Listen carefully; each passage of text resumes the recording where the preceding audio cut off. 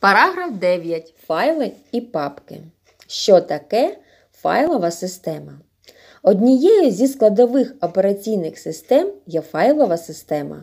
Ти вже ознайомився із файлами та папками. Це об'єкти файлової системи. Файлова система це частина операційної системи, що забезпечує управління файлами і папками на носіях даних. Кожен файл має ім'я, що складається із двох частин назви і розширення. Розширення є необов'язковою частиною імені. Назва і розширення імені файла відокремлюються крапкою.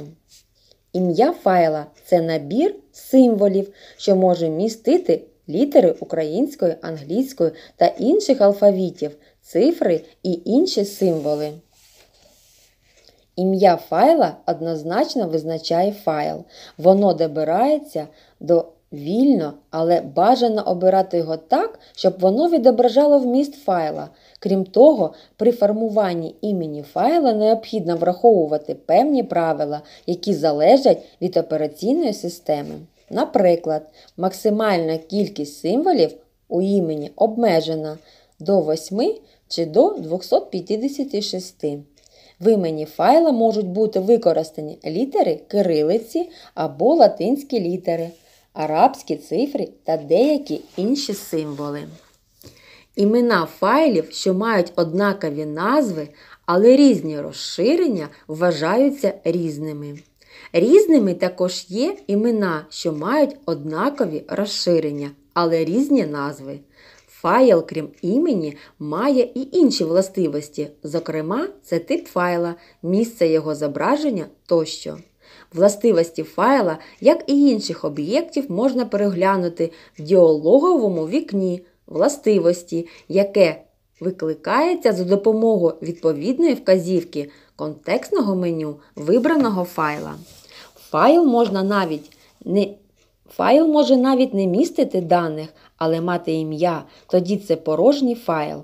Аналогом порожнього файла є чистий аркуш паперу, який приготували для записування певних відомостей.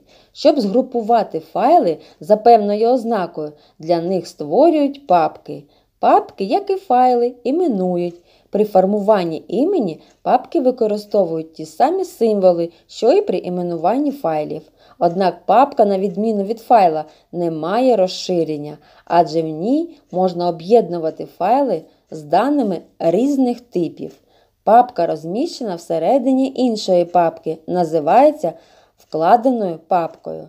За замовчуванням. Windows 7 створено 4 папки для зберігання даних за типом відео, документи, зображення та музика. Ці папки називають бібліотеками. Вони відображаються у вікні системної папки комп'ютер, яка, як і папка кошик, має свій спеціальний значок і може бути розташована на робочому столі. На що вказує розширення імені файла.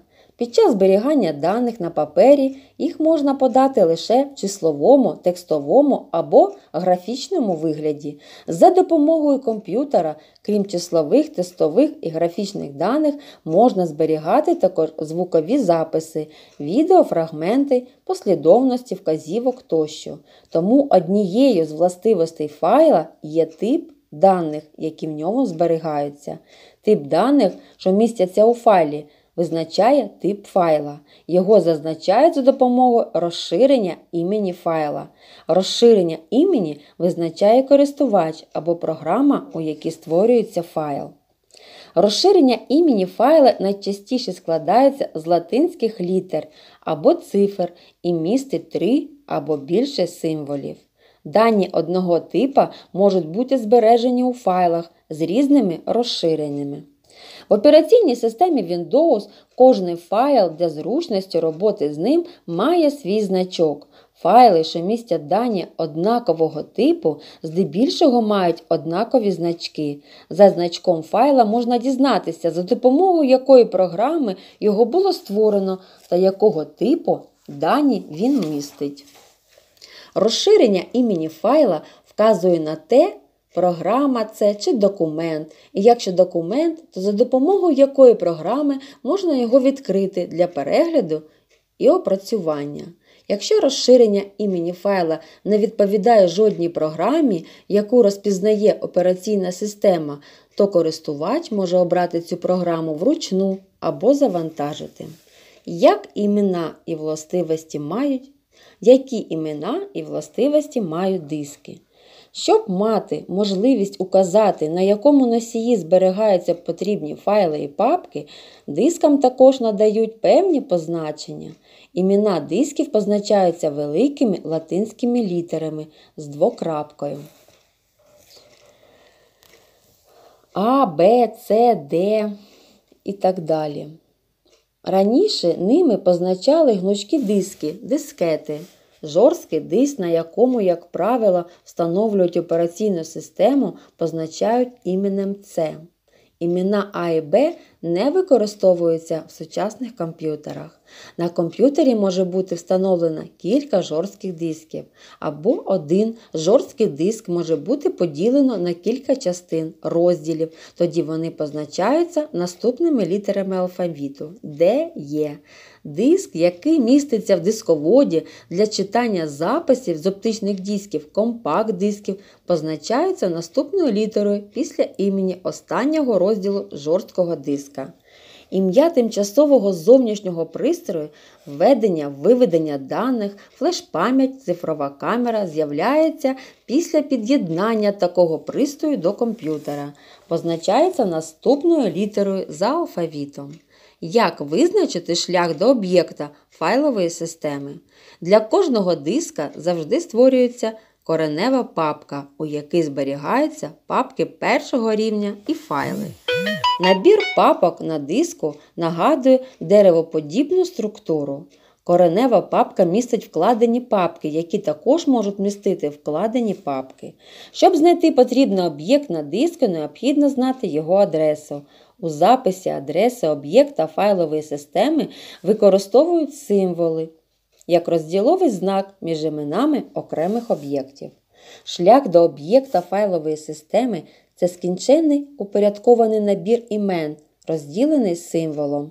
Він починається з імені пристрою і включає всі імена вкладених папок.